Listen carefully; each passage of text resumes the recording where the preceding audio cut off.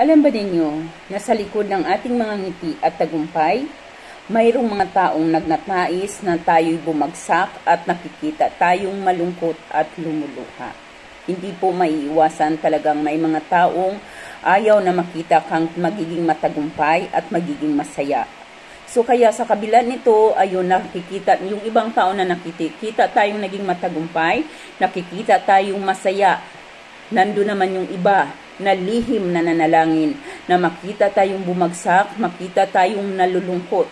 Ngunit sa kabila naman nito, kapag tayo naman ay nalulungkot at tayo naman ay lumuluha ang hindi natin alam, may mga tao naman na nagdarasal na makita naman tayong magiging matagumpay at magiging masaya.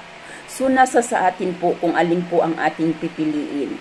Kung hayaan ba natin na mabigyan natin ng kasayahan ang mga tao na ang nais lamang ay ang ating pagbagsak o magpatuloy tayo ipakita natin na sa kabila ng kanilang mga pinapangarap at mga gustong na tayo ay babagsakin, mas papakita natin tayo ay magpupursige mas ipapakita natin sa kanila na kaya nating tuparin o kaya nating bigyan ng katuparan ang ating mga pangarap. Isa na dito ang pagiging successful at pagiging masaya sa ating buhay.